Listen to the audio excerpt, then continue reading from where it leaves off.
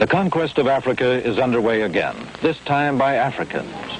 The brown Africans of the north are already free, the Sudan, Egypt, Libya, Tunisia, Morocco, and Algeria on the way. Now colonialism is crumbling in black Africa. Ghana and Guinea are free, and Nigeria stands on the eve of freedom.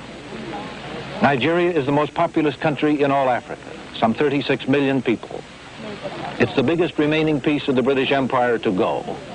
It will be the largest independent black nation in all the world. That is our story.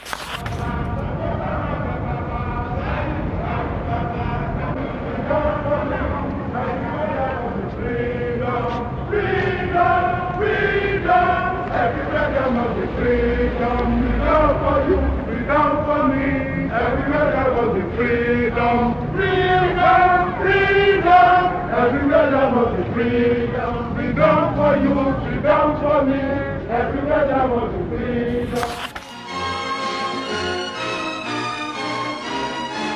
Governor General Sir James Robertson and Lady Robertson welcome the royal couple as they leave the Argonaut.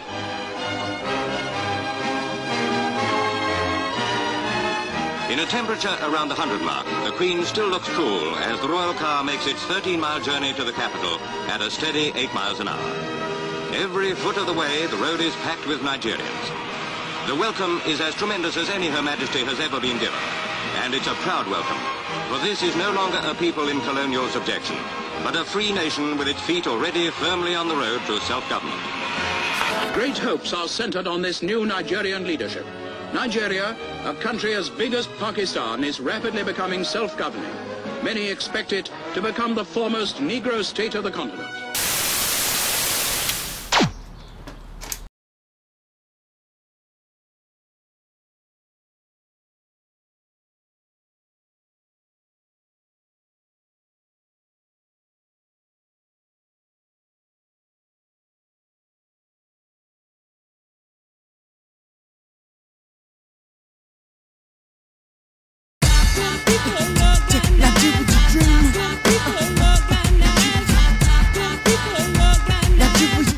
Stage was set when Nigeria gained independence from Great Britain in 1960.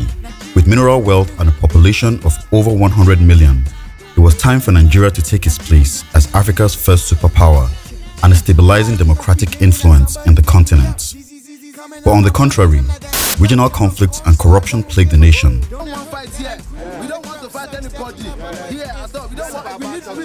And barely six years into the new government, the Nigerian military is disrupting the course of Nigerian history forever. The coup now begins to look more and more like a straightforward military revolt against corruption in government, and one that's likely to last. There was a bloodless coup today in Nigeria, which is black Africa's biggest and richest nation and the world's eighth largest oil producer. Um, it's uh, rather something like the longest day. The January 15, 1966 coup marked the beginning of a succession of coups, counter-coups, and military rule for the next 33 years. But to truly appreciate the events of the morning of January 15, 1966, it is important that one understands the events leading up to that tragic day. By the time Nigeria gained independence in 1960, the British had carved Nigeria into three regions, the north being the largest with predominantly Hausa Fulanis, and the south with two competing ethnic groups, the proud and the culturally rich Yorubas in the southwest and the energetic, industrious Igbos in the southeast.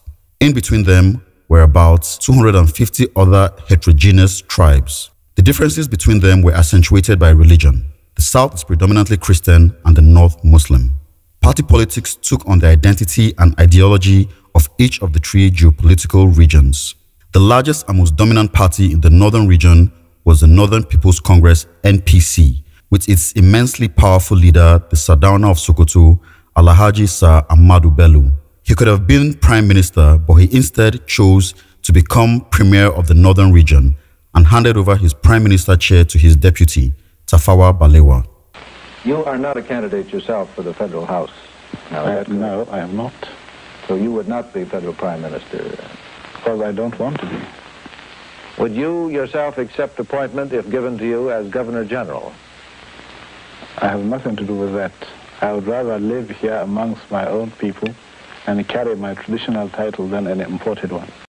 The Western region's dominant party was the Yoruba-led Action Group AG, led by the energetic Chief Obafemi Awolowo, and the Eastern region was dominated by the Nigerian Council of Nigerian Citizens NCNC, led by the eloquent Dr. Nnamdi Azikiwe. After independence, the NPC took control of the federal government, with Balewa as prime minister and Dr. Nnamdi Azikiwe as governor general in place of the outgoing British incumbent, Sir James Robertson. His title was later changed to president in 1963 when Nigeria became a republic. The northern and eastern regions formed a coalition government at the center, while the western region formed the opposition. Even though Balewa was generally considered a humble man with integrity, he was also viewed, rightly or wrongly, as Ahmadu Bello's puppets by southern politicians. They resented the fact that the country was being ruled by proxy by the Sardauna. I have nothing to do with that. Also, the fact that many southern politicians, such as Azikiwe and Awolowo, were erudite intellectuals, while Balewa and Ahmadu Bello did not have university degrees, made some southern politicians feel that northern politicians were not intellectually fit to rule the country. My good friend, the Prime Minister of the Federation, Alhaji Abubakar Tafawa Balewa, in his broadcast the other night, committed what I thought was a faux pas, which a Prime Minister should not commit. On the other hand, northern leaders feared that a Yoruba Igbo allegiance from the south could swamp them and threaten their political dominance. The acrimony between the regions reached fever pitch in 1963 when the results of a census revealed that the population of the southern region was greater than that of the northern region.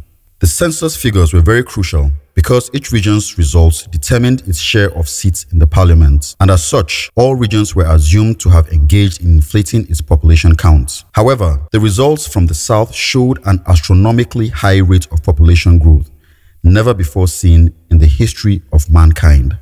The Prime Minister ordered for a verification of the results, during which an additional 8 million people were added to the northern counts. The verification revealed that the North did in fact have a higher population than the South.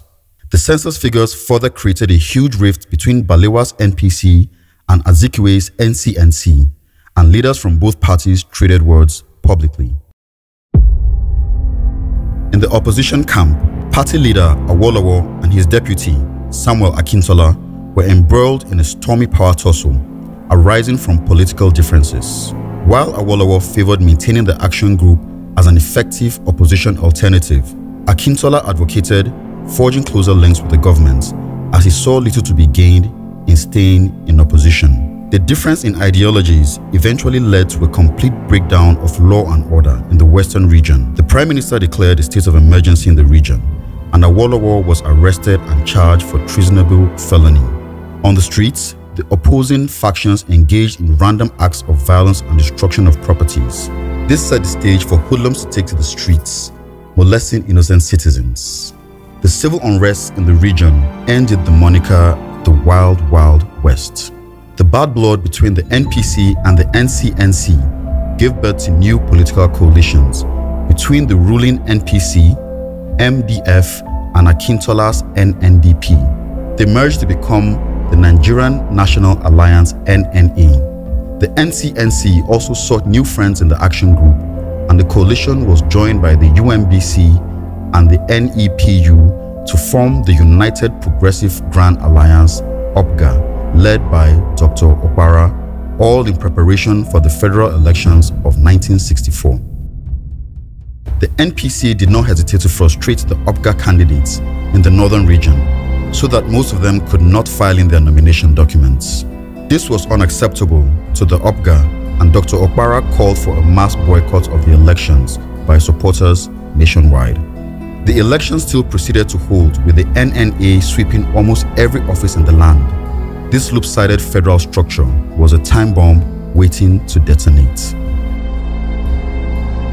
The year 1965 witnessed a worsening of the political situation in Nigeria the Tiv riots against the high-handed Sardauna's government warmed up and showed no signs of abating. It was no doubt a year of political gloom throughout the country.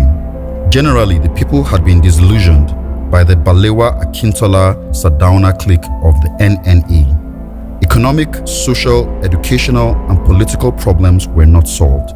Corruption was rife, and nepotism was the order of the day.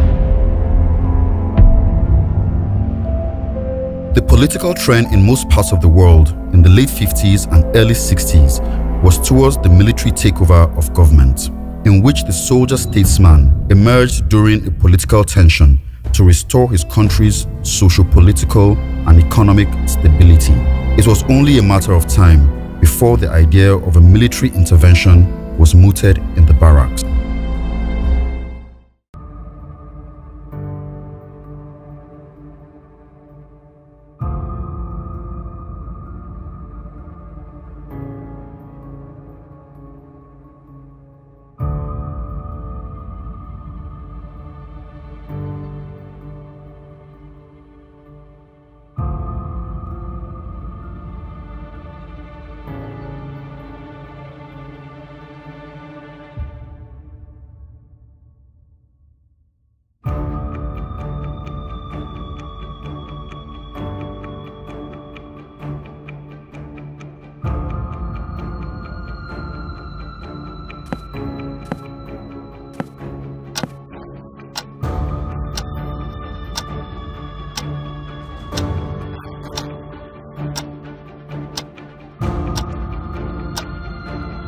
Well, now that you're here, I think we can all proceed. Good to see you could all make it. The revolution has begun. By 1965, a group of British-trained Nigerian army officers were perfecting their plans to topple the Balewa government with a military-led revolution. It would take another year before their plans would come to fruition. The major planners included Major Emmanuel Arinze Ifeajuna, leader of the acclaimed revolutionaries. He enlisted into the army in 1960 and got his military training at the Mons Officer Cadet School in the United Kingdom. He was the first black African to win a gold medal at the 1954 British Empire and Commonwealth Games. He was an Igbo from Onitsha. Major Patrick Chukwuma Kaduna Nzeogwu, a charismatic Sandhurst-trained officer. He worked as the chief instructor at the Nigerian Military Training College, Kaduna, and was the first Nigerian Army officer to be trained in intelligence. He was born in the northern region's capital of Kaduna to Igbo immigrant parents from the Midwest region. Major Adewale Ademoyega. He enlisted into the army in 1961 and also got his training at the Mons Officer Cadet School in the United Kingdom. He was one of the first university graduates that enrolled into the army he was a Yoruba from southwestern region. Others are Major Christian Anuforo, Major Timothy Onwuatuegwu, Major Donatus Okafor, Major Humphrey Chukwuka, Captain Ben Gbulie, Captain Ogbona Oji, and a host of others. All but one of the major planners came from the southeastern region, and in time, the coup will come to be known as an Igbo coup. This is the list of our targets for immediate arrest at the HR. The mission is to arrest all of them along with their right-hand men. Abubakar Tafawa Balewa, Samuel Ladoke Akintola, Dennis Chukude Osadebay, Michael Iheonukara Okpara. And in the army, our target are Major General J.T. Ironsi, the two brigade commanders, Brigadier Samuel Ademulegun and Brigadier Maimalari Zakaria, Colonel Koa Muhammad, Lieutenant Colonel James Pam, Colonel Ralph Shodeinde, and of course the most political officer in the army, Lieutenant Colonel Abogo Largema, Commander 4th Battalion, Ibadan. At each hour, we will strike simultaneously from all regional headquarters. I will head operations in the northern region. Ima, you will run operations in Lagos with Chuka and Okafor. Wali, you will cover the rest of the western region and since we don't have troops stationed in Benin, we will send a small unit from Enugu. By the time the revolution is successful, every officer who didn't join will regret. You can count on me, sir.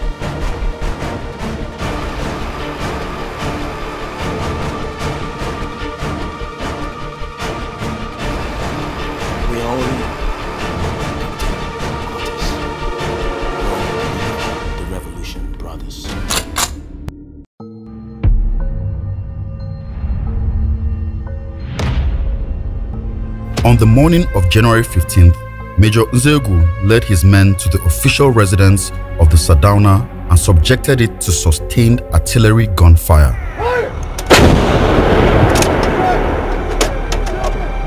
In the weeks leading up to the coup, Nzeogwu had carried out several reconnaissance missions on the Sardauna's residence, oftentimes using the cover of his office as chief instructor at the NMTC to bring out soldiers for a tactical operation. His men were unaware that the military exercise they were participating in was actually a practice run for a military coup to overthrow the government.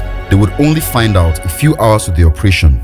Nzeogwu personally conducted a search of the residence. When he found the Sardauna hiding with some of his wives and domestic staff, he shot Sir Ahmadu Bello dead along with his bodyguard and one of his wives. Nzeogwu's co-conspirator, Timothy Onwuatuegwu, led a detachment of soldiers to Brigadier Ademulegun's residence, the general officer commanding 1st Division in Kaduna. Onwuatuegwu made his way to the bedroom and found him in bed with his wife.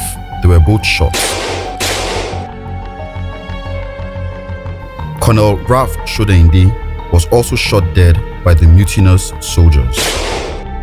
The governor of Northern Region, Sir Kashim Ibrahim, was arrested but not killed. Captain Ben Gbulie coordinated the taking over of strategic locations and facilities like radio and TV stations.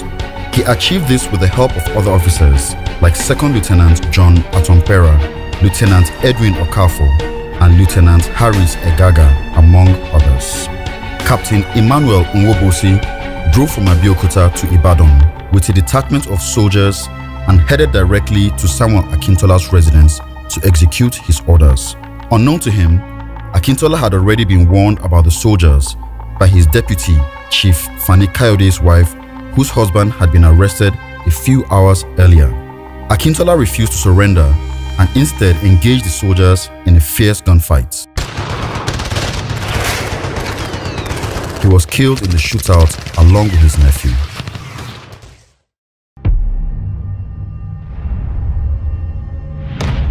The Lagos leg of the operation was led by Major Emmanuel Ifeajuna. Other officers included Majors Ademoyega Don Okafor, Chris Anuforo, and Humphrey Chukwuka. In the early hours of the morning, Ifeajuna, along with some officers, made their way to the Prime Minister's residence and arrested him after overpowering his security detail. After arresting Balewa, the soldiers went next door and arrested the Finance Minister, Chief Okote Ebo. Major Ademoyega was in charge of setting up roadblocks and occupying strategic locations like the telephone exchange. Don Okafor led a detail of soldiers from the Federal Guard to the brigade commander's residence in Ikoyi to arrest Brigadier Mai Malari. Okafor and his men got into an argument with the brigade commander's security detail, eventually leading to a gunfight. The chaos from the gunfight alerted Maimalari, who made an escape to the road. As he was making his getaway on foot, he recognized the vehicle of his brigade major, Emmanuel Ifeajuna, who at this point was on his way to the Federal Guards barracks with the captured Prime Minister. Unknown to him, his brigade major was the leader of the mutineers. He waved down the vehicle for assistance and was promptly shot dead. Just hours earlier, Ifeajuna and a host of officers, including most of the planners, were at a party being hosted by Brigadier Malari to celebrate his wedding. Ifeajuna then proceeded to Ikoyi Hotel, where Lieutenant Colonel Abogo Largema was a guest. He forced the front desk officer at gunpoint to lure out Largema on the pretext that he had an official phone call. When he came downstairs to receive the fake phone call, Ifeajuna emerged from hiding and shot him dead on the spot.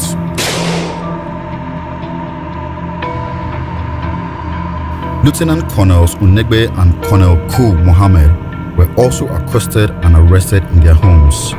Unegbe was shot in front of his pregnant wife, while Lieutenant Colonel Pam was arrested and taken to the Federal Guards barracks. He was also shot dead.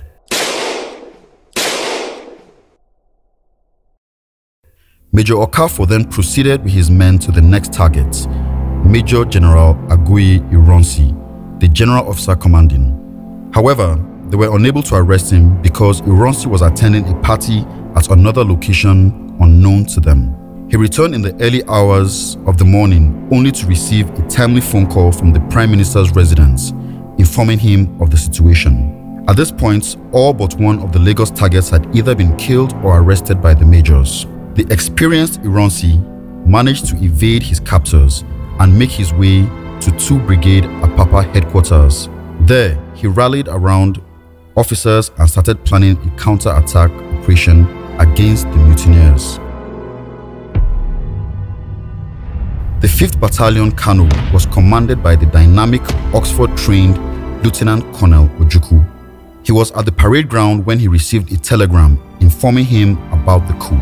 Ojukwu disarmed his soldiers and locked the armory, sending the key to a relative for safekeeping. He also took the Emir of Kano, Alhaji Ado Bayero, to the battalion for his protection. The officer whose responsibility it was to conduct the operation in Kano, Captain Ude, was promptly arrested and detained by Ojukwu. The Kano leg of the coup was a failure.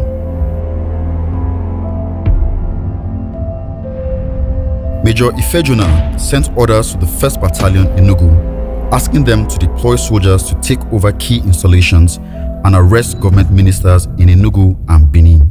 Premier Dennis Osadebay was placed under house arrest, while Dr. Michael Okpara was also arrested.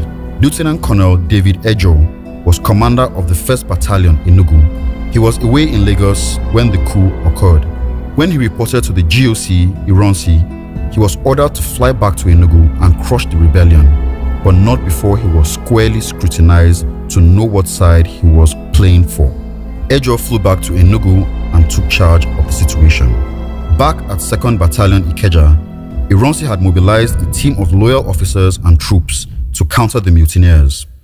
Among those officers was one Lieutenant Colonel Yakubu Gowon. Ironsi ordered the arrest of Ademoyega, Okafor, Chukwuka, and Ifeajuna. By the next morning, word had spread to other army units about the debauchery that had occurred overnight. More officers, including Major Murtala Mohammed and Captain Theophilus Danjuma, joined in the counter-operation to suppress the revolt. Major Okafor's inability to arrest Ironsi marked a turning point in the coup of January 15, 1966. By midday, Ironsi had taken back control of Lagos and all the coup plotters were either arrested or on the run. The nation found itself in a state of confusion with the Prime Minister and other top government officials assassinated. The surviving members of the Council of Ministers called for a meeting to determine the way forward given the current situation of things. And by January 16, 1966, the acting president, Dr. Nwafor Orizu, announced to Nigerians that a unanimous decision had been reached to voluntarily hand over the administration of government to the military. The 42-year-old GOC, Major General Aguiyi Ironsi, had been vested with authority as the head of the federal military government and supreme commander of the Nigerian Armed Forces. My main concern is to restore law and order as soon as possible.